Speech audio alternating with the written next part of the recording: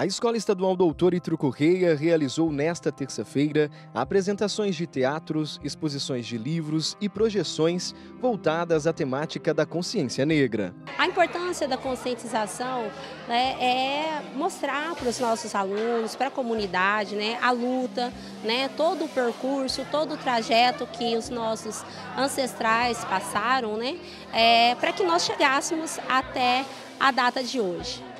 Bom, professor, e o que foi trabalhado aqui com os alunos da Escola Ituro Correia? Bom, nós trabalhamos letras de música, nós trabalhamos poemas, nós trabalhamos teatro, cartazes, é, mosaicos. Tem uma, a, o grupo, né, o grupo de ciências humanas é, trabalhou diversos, diversas formas de conscientização, diversos trabalhos com os alunos em sala e alguns estão expostos aí na nossa, no nosso ambiente. E como que tem sido, né, a participação? Como que a senhora sentiu a participação dos alunos nesta temática? A participação foi muito positiva, tanto dos alunos como todos os nossos colegas de área. Né? Eles ah, abraçaram a ideia, ah, alguns alunos produziram é, alguns cartazes.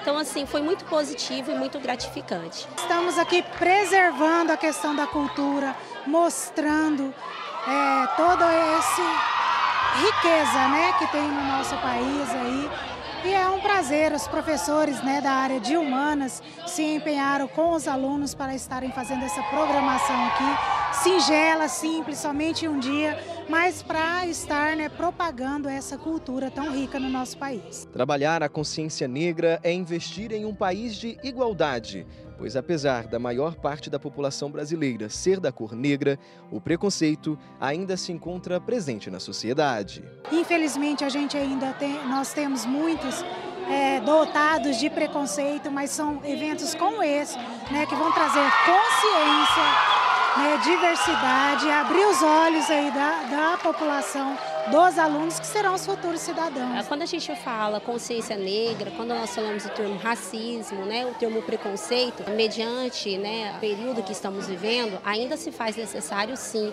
debates, conversa, trabalhar com esses jovens, né, essa temática, porque infelizmente ainda se percebe algumas falas, algumas atitudes que não cabe mais no cenário que nós estamos vivendo.